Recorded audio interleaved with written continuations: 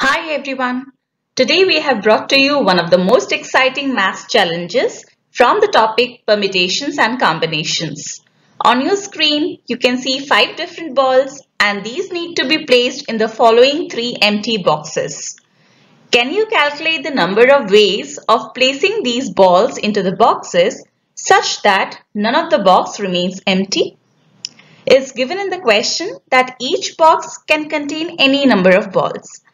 So what are you waiting for? Quickly grab a pen and a notebook and try it out. And after that, we will tell you two different approaches to solve the same problem. Let's begin. So friends, before attempting the question on the title screen, first I want you to guess the answer to this space question. In how many ways can we place these five balls into the three empty boxes? And you may place the balls any way you wish. You may even place all balls into any one box and leave the other two boxes empty. In this base question, we have done away with the constraint that none of the boxes should remain empty. This is a classic question in PNC which can be asked in so many other ways.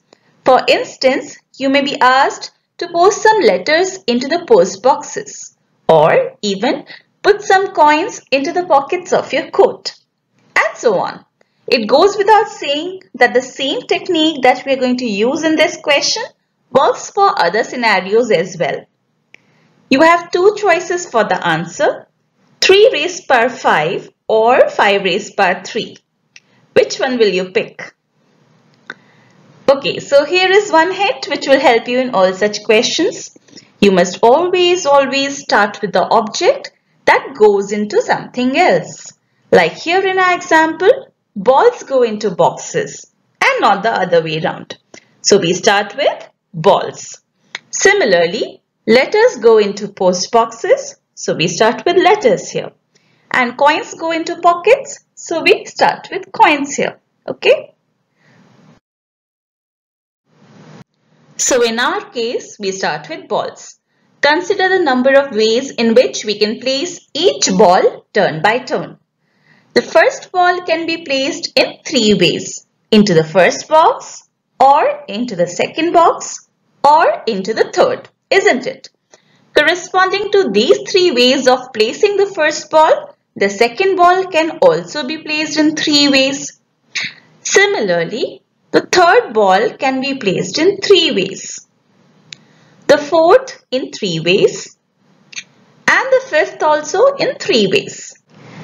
And remember, if you decide to place one of these balls in any particular box, it still does not affect your options for other balls because all boxes can contain any number of balls. For example, if I choose green box for the green ball, for the yellow ball, I again have three options, all the three boxes to choose from. In other words, the action of placing one ball remains independent from the action of placing any other ball. So by fundamental rule of counting, we can place all balls together, which means the first and the second and the third and the fourth and the fifth ball in 3 into 3 into 3 into 3 into 3. Remember, and means multiply. So our answer is 3 raised power of 5. By the way, if we had started with boxes and try to see where this thought process goes wrong, when you say box 1 can receive balls in 5 ways, that itself is wrong because if we had to place any one ball into it, it would be 5C1 that is 5 ways in that case. Placing any two balls would be 5C2 that is 10 additional ways. There are a total of 2 raised power 5 ways in which the first box can receive balls. But that's a topic for some other video. So let's get back to our question. Uh, number of ways box 1 can receive balls is not 5. Furthermore, depending on how many balls we place in box 1, the number of ways of placing balls in box 2 would change. So 5 raised power of 3. This option is incorrect. Now we come to our main question. in how many ways can we place these five balls into the three empty boxes such that none of the boxes remains empty. It's possible that when we are placing these balls into the boxes, all balls might go into any one box, leaving the other two empty. Another possibility is that all five balls might together occupy any two boxes out of these, leaving the third empty. Like this is one possible scenario. The green, purple and red ball into box 1, yellow and blue in box 3 and box number 2 left empty. So guys, our approach to solve this question is going to be very simple. We just calculate the total number of ways of placing these balls. We just did that. They are 3 raised power of 5. Out of these, if we subtract the number of ways of placing the balls where any two boxes are empty or even any one box is empty, then we achieve our objective, isn't it? So what is the number of ways of placing the balls if any two boxes are empty? Very simply, we first select the two boxes which are left empty. Three C two ways of doing that. Then all five balls must be placed in the remaining or the third box which can be done in only one way. Hence, there would be three ways of placing the balls if any two boxes remain empty. Similarly, what is the number of ways of placing the balls if any one box is left empty? So guys, first we select that box which should be empty. This can be done in 3C1 ways. See this one is empty.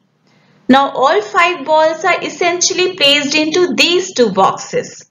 So we go through the whole process all over again.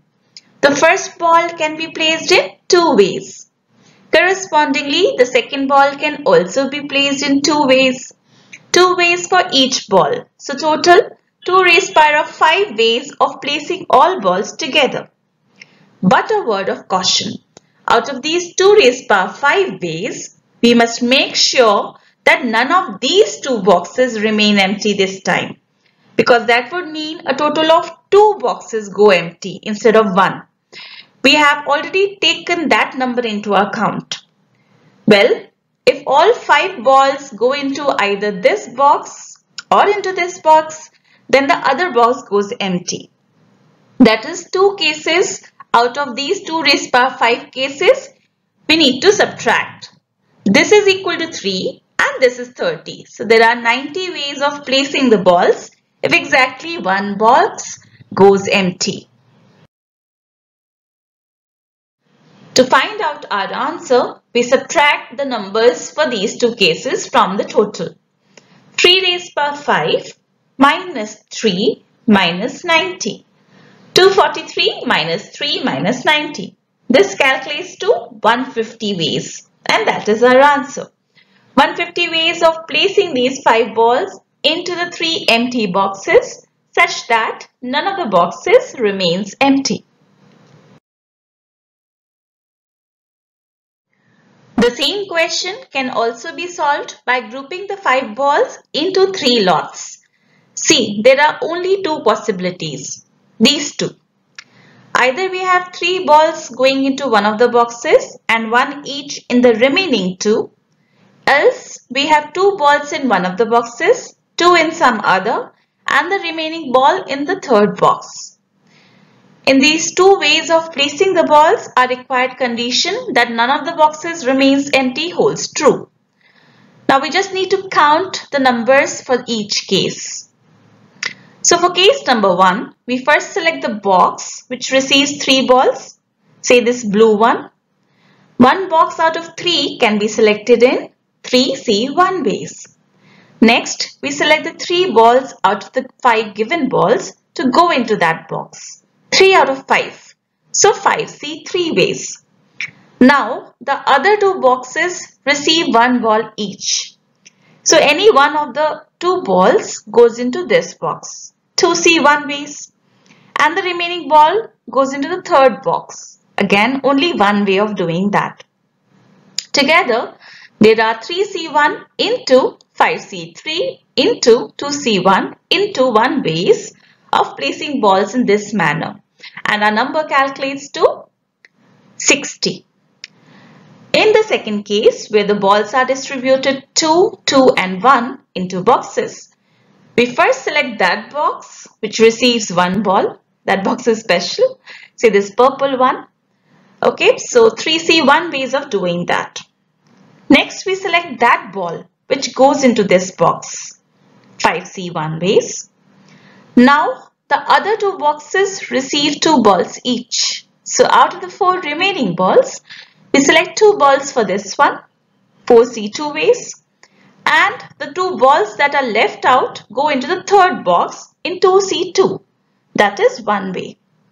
Together, these balls can be placed in 3C1 into 5C1 into 4C2 into 2C2 ways as per this case number 2.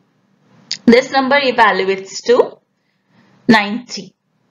Therefore, our required answer is summation of these two cases 60 plus 90 and as you can see our answers tally from both approaches. That brings us to an end of this video lesson. If you enjoyed it and found it useful, don't forget to press the like button and also do subscribe our channel. Here is a glimpse of other popular maths videos on our channel. So stay tuned and happy learning. Bye-bye.